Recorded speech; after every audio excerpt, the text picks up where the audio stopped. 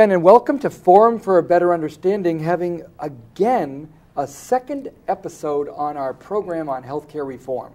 It's only once in a while that we have a topic that is so important that we keep the guests and have them kind of say a few different things, go into a different aspect of the topic. Well, we enjoyed last week's program on healthcare reform very much, but we left off a lot of what we needed to cover. In fact, even after today, we may not finish, so we will be having more programs with some of the very guests who were on last week. Be that as it may, I do want to invite you to a website that you could be visiting anytime soon, and it would be a great idea to go see what the United States Conference of Catholic Bishops have for us on this topic. So go to www.usccb.org slash healthcare. It's a brand new segment that they've created for their website in which they are giving us every day important Catholic insights into this issue. We think that you'll find there information that corroborates things we're going to share today. Of course, the bishops are not going to endorse a single policy, but what they are going to do is raise those principles of Catholic social teaching that are so important. I also want to remind you that Bishop has been giving his uh, pastoral message on health care, and we are thinking that what we're sharing today will only um, support and encourage you to follow the Bishop's lead on this one.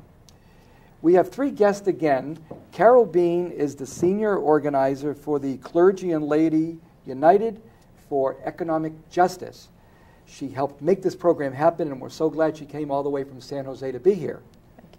To her side is Paul Werfelmann, a Lutheran pastor, formerly at Hope Lutheran Church, and is here all the way from a golf course to be coming to share, after having had a busy morning, some real insight into the issue of why it is that healthcare reform is so important for him and for all the people that he knows. This is something that touches all of us, even those in Sacramento, because we have a guest today Ernie Powell, who is the senior manager of, for advocacy for the AARP in their main office up in Sacramento. And we're so glad that Ernie set aside the time and the commitment to visit us all the way down to talk to us from his own work at the American Association for Retired Persons, how important that is, their work on this topic, since it impacts them immensely which means it impacts me immensely, which means all of us are impacted. There's no one that is outside of the purview of healthcare reform. Having said all that, where do we want to start right now? I think we have to look at that second principle, and what would that be? Something like we need to be telling the truth.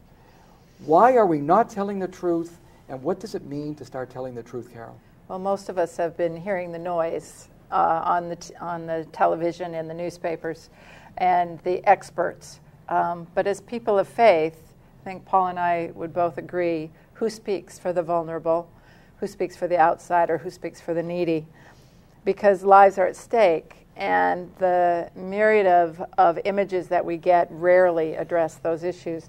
And I want to say something about the history of um, three aspects in, in our di- debate that create a problem of truthfulness. And one is politics, and the other is the press, and the third are profits. And so we have seen since Truman, since Truman in the 1940s, when he introduced a national health insurance plan the AMA spent $200 million, that's f- from our, our pricing, um, to defeat it. And doctors were actually accused of violating their ethics because they were convincing people to vote against it or to voice their, uh, their convincing their patients.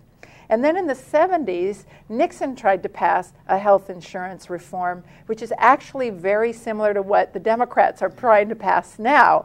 And um, the Democrats, the, the progressive Democrats and the, and the union said, let's hold it off and let's pass it in midterm when we can take credit. And then, of course, we all know the Harry and Louise ads from uh, um, President Clinton's time. And even Newt Gingrich admitted that uh, we would never get a Democrat out of office if health care was passed. So historically, those who are not in power don't want the other side to solve the problem and get the credit. And I think we're seeing some of that in the debate. It's also profits. We've got a $2.7 trillion industry, and the health insurance companies have a vested interest. Uh, the doctors have a vested interest, and people who are making money. Uh, the health insurance industry, amazingly, is spending $1.4 million a day. A day on advertising and lobbying. It's, uh, it's uh, amazing. And then I think, uh, Paul, you, you were talking about the images on, on uh, television and what the press has been doing and, and how that is muddying the waters. Well, of course, it's muddying the waters, and there are, there are a lot of myths out there about, about who's spending what and who's going to cover uh, the cost of, of this and that. Um, it seems that uh, when when when things and institutions move uh, from somewhere else to the United States, somehow in the United States they become an enterprise uh, rather than necessarily a social, um, uh, civil kind of uh, fostering community kind of thing. Uh, we see who can make how much out of out of any industry, uh, including um, churches. We're, we're not exempt. Ernie, you're here especially in your capacity doing the work at the AARP. Before I ask you about the myths and have everybody opt in on what are the myths, why don't you let everybody know why it is that you are so committed to healthcare reform in your own work with the AARP? The reason that AARP is so strongly committed to healthcare reform is number one, our main goal in this is to is to protect Medicare. And what we're seeing right now is some very good things in the legislation. We haven't endorsed any of the bills yet, but we've seen some very good possibilities in the legislation. People that are on Medicare, even though they have the program, spend 30% of their income uh, out of pocket on health care. There's the giant do- donut hole, which is the benefit gap within the Part D drug benefit. And of course, most of the drafts we've seen so far either closes it right away or closes that donut hole in, in time. Um, a huge amount of money is spent on people who are readmitted to hospitals after surgery, and there is, there are, there again is legislation there that will do better planning for pe- for people as they leave hospitals. But the bottom line for ARP is to to work with our members and to um, and to do what we can to, to, to protect Medicare. The second issue that's important to ARP, and again it impacts our members, is for the 50 to 64 year old ARP member. 7.1 million people in that age category don't have health insurance. They don't have health insurance, and a million of them are in California. They don't have health insurance because of pre existing conditions, because of the economy, they may have lost their jobs, uh, for a whole myriad of reasons. Again, we're seeing, when we want to see solutions in this. So, we, uh, our, our members care intensely about this issue. Uh, we're looking for a, we, we've seen, we're looking for a good bipartisan debate, and we're very much involved in it. And the bottom line for us is to make sure that the successes of Medicare, which have been carried out since 1965, which have done, done such great things for people to give them dignity in their retirement years, um, we want to make sure that those successes are protected and then um, um, make sure that people that lack the coverage uh, get the coverage and that costs are brought down. Let's look at those seven myths, at least seven that I think we've diagnosed, and if there's more, we'll talk about them. The first one might be that this is marking absolutely a government takeover of all health care, that it is definitely um, a takeover, that it's not something that's being done well, but it's completely usurping something else. What do you want to, how would you like to clarify what's really meaning to be in this healthcare reform? Well, I was surprised when I was uh, delving into this because the noise on on the TV never gave me clarity about what what people were concerned about, and this fear that there was going to be that the government was going to create some kind of standard, and then that standard uh, might be used against people. Um, what I understand now from looking at it is the standard is for insurance companies to provide a basic standard of care. So your insurance company is no longer going to be able to say, Oh, we don't cover medications. Oh, we don't cover well baby clinics. Oh, we don't cover pregnancy. Oh, we don't cover uh, routine checkups. There are the, the, the standards that are going to be set by the government will regulate the entire insurance industry so that no longer will people be uh, left out of co- coverage that's necessary. I would agree with that. And I'd also add that um, 85% of, our, of, of the people in our country are insured, but the crisis has to do not only with the 15% that lack insurance, but the cost for people that are, that are insured. None of the plans will take over the relationship between patient and doctor. Absolutely. The government is not going to hold, is not buying all the hospitals and hiring all the doctors. It will still be a, a mix of uh, what we would call market reforms, um, and it will still be what we have, but it will build from the successes and correct uh, some of the disparities and correct some of the problems. So it's absolutely, that is not true. It is not a government takeover. It, it will expand on what has worked and improve where we need to see improvement, we hope. Unfortunately, we have used up actually half of our program already. So we'll be back in one minute, so don't go anywhere. You may want to bring a pen to mark down certain things when we come back, so stay tuned. For over 25 years, KNXT has been serving the people of the San Joaquin Valley with good family television. That's just not available anywhere else. It's important for you, the viewer, to help support this valuable tool of ministry. KNXT needs to continue to grow and bring you important programming about your faith. But sometimes it's hard to stop and find the time. Make it easy. Go to knxt.tv and find out how easy it is to support your Catholic television station, KNXT TV. Hello again, and welcome to the second part of our program today on healthcare reform. We're looking at the myths, and these are so prevalent uh, we've listed one of them already that it's going to be a government takeover of everything regarding medicine and hospitals and all procedures. It's going to be a government, it's going to be despotic, it's going to be awful. That's one myth. Uh, we, we dispelled that one. But now we're going to look at six more that uh, are, are maybe variants on that form. So why don't we try this one? Healthcare reform is going to lead to rationing. Um, Ernie, you, you have an angle on this. Well, we're, the system right now has rationing. When you have older Americans splitting their pills because of the donut hole, the benefit gap, that's rationing. Mm-hmm. When you have 50 to 64 year olds who um, are kicked off of their health care plans because they were sick one time before in their lives, that's rationing, or when they can't even get health insurance. Mm-hmm. So we have a lot of disparities in rationing as we go right now. The legislation that we're looking at, in fact, correct, corrects all of those elements, and it is the exact opposite. It is not. It will not mean rationing. What it will mean is more preventative services, so people have to go to the hospital less. Um, more help for people that can't afford to pay for their health care. As I said earlier, closing the donut hole, which is that big, big, huge benefit gap for people on prescription drugs and Medicare. In gen- and also um, bringing more people into the system so that, so that um, it is more equal in terms of people paying premiums. You know, when you have the doubling of premiums, uh, either paid by employers or individuals in the next five years, which, isn't, which is anticipated, that by nature is a form of rationing. So unless we rein in these costs and unless we get um, um, uh, more uh, people covered, um, it, it's the exact opposite. In fact, what will happen in healthcare reform is, is, is less rationing mm-hmm. and more care for people that need it. Mm-hmm. A third uh, myth we'd like to uh, clarify or dispel public options create death panels and euthanasia.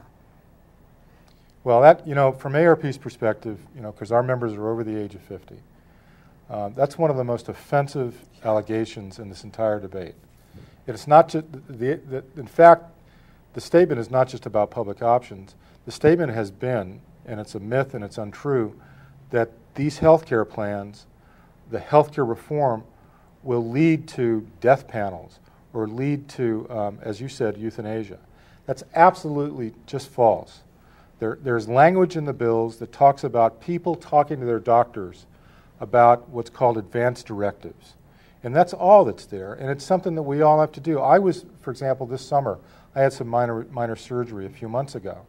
And when I talked to my doctor about it, he asked me about my own advance directives. That's a conversation that we all need to have with our families and our doctors. So it is absolutely not true. There will not be rationing of care.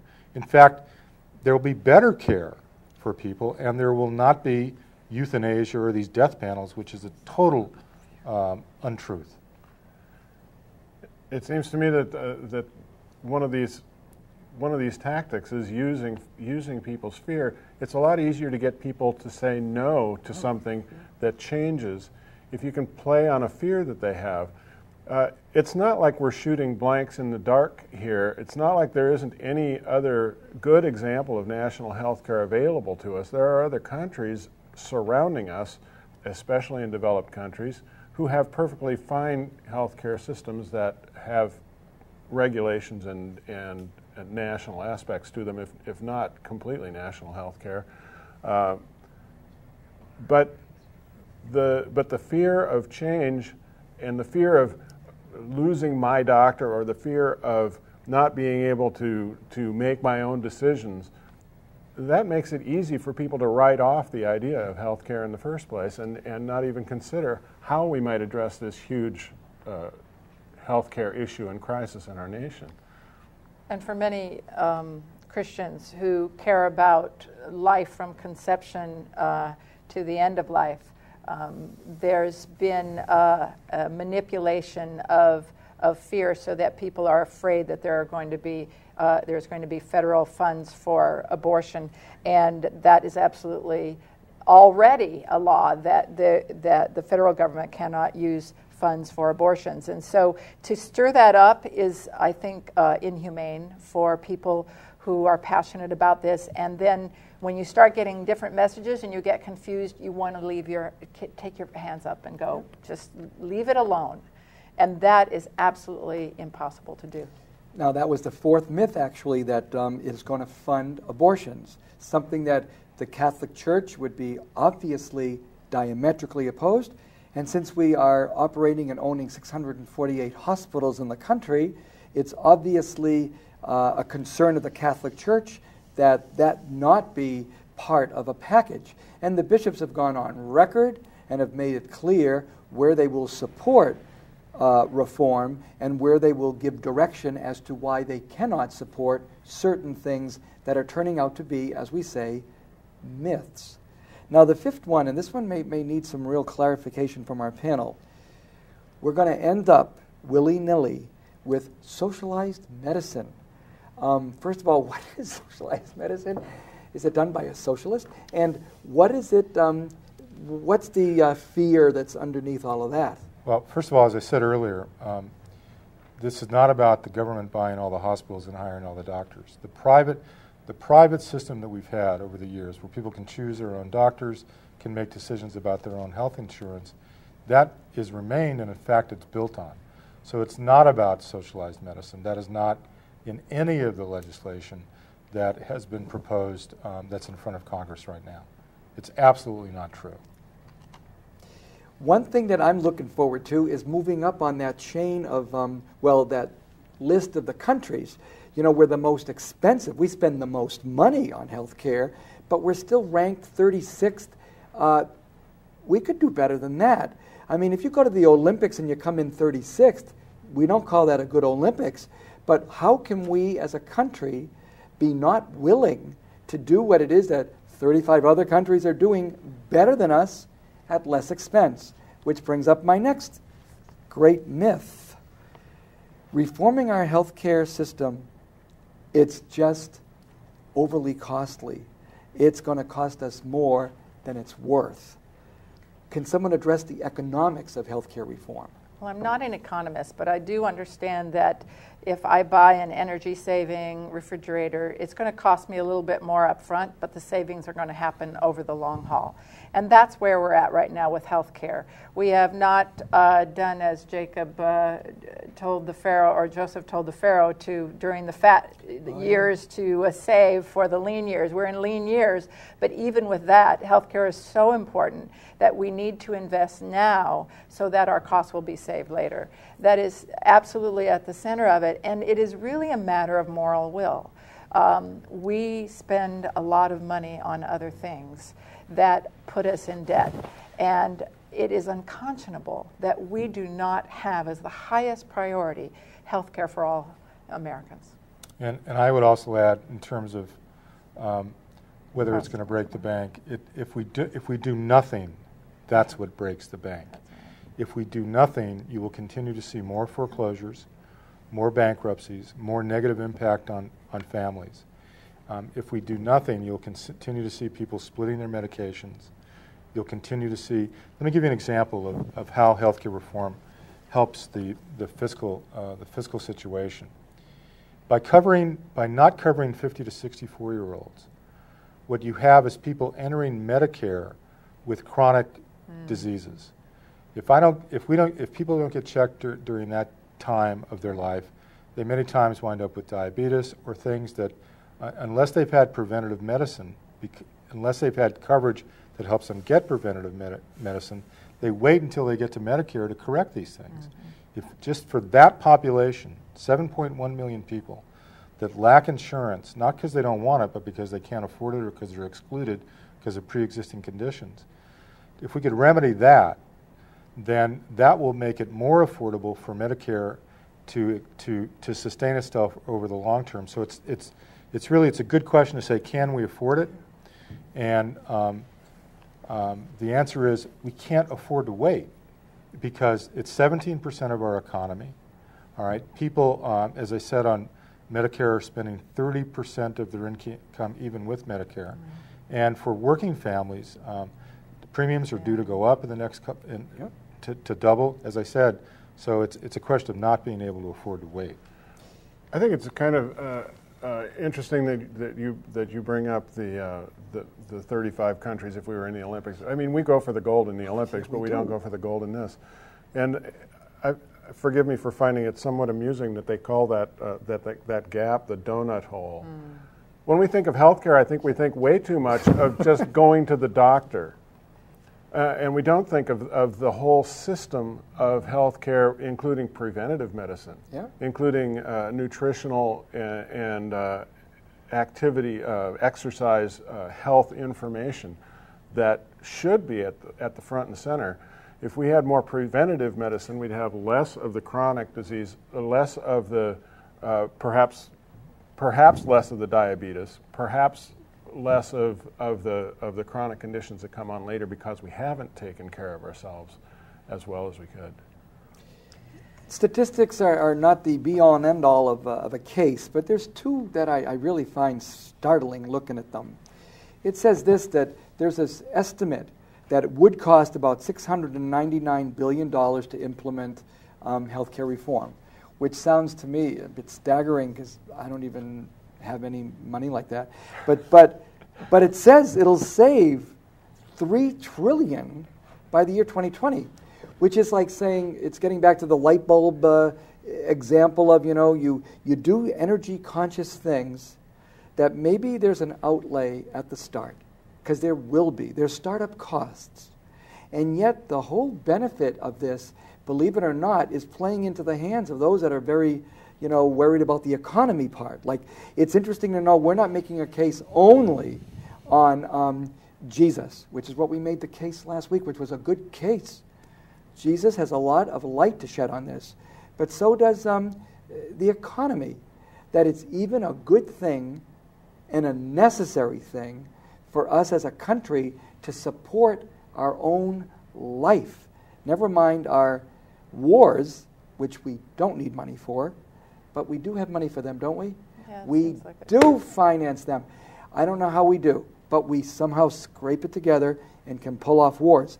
But how we can't pull off an overhaul or a retooling or a getting the best that you have and then finesse it to make it better yet. Why can't we do this? So, my final question to our panel 20 points, please. How can we and how will we finance this effort of ours at comprehensive healthcare reform? Ernie. Well, the first thing to do is to, is to reduce the costs in the current system. For example, Medicare Advantage plans, they're paid 14% higher than what's called regular Medicare. And so we need to correct, so, so I know that most of the legislation deals with that disparity in a number of other ways. So, so make it more efficient, do a better job of prevention, do a better job of, of, of eliminating fraud and abuse from our system, for example. Sure. And getting, if the irony of it is, if you get more people covered, okay, you lower costs because you have more people contributing mm-hmm. into the system, all right, and um, by the very nature of that, it does lower costs. There are um, there are employer fees. Um, there's um, a, a, new there's a tax for people who um, for very uh, upper income individuals in many of the legislation. So there's two combinations of making our system, the current systems more efficient, um, actually using the current resources we have better in a way to where we can get more coverage but yet save costs, improve on preventative care, and some of the legislative proposals that are present in the bills. You're right, it's going to take an early investment, uh, but if you look at um, other programs in the past, there, there were earlier, there were front-end investments that, that um, for Social Security and Medicare and, and Medicaid as well, but eventually what they did was to stabilize uh, the economic challenges and, and more benefit for people that need it. Well, I want to thank our panels that we have had these past two weeks. We've had people that are local. Then we've had people come from San Jose and all the way from Sacramento. We've been very gifted here at KNXT with the way that, Susan, uh, that uh, Carol Been pulled together a wonderful uh, panel and also a wonderful outline of our four half programs. Thank you very much, Carol. Thank you, Paul. Thank you, Ernie, for coming here today. We hope you'll be following this up. And I know we'll be doing another program next week, actually, on immigration reform, which is another burning issue that cannot go away and we must deal with. But I also hope you'll be back on other weeks when we do pick up the threads that we have woven a little bit today around healthcare reform. It's something to pray for, but it's something to work at also. Please do not give up. Do something concrete. And let's decide that we will do something as a church and as a believing community to step up to the plate and work for healthcare reform. God bless.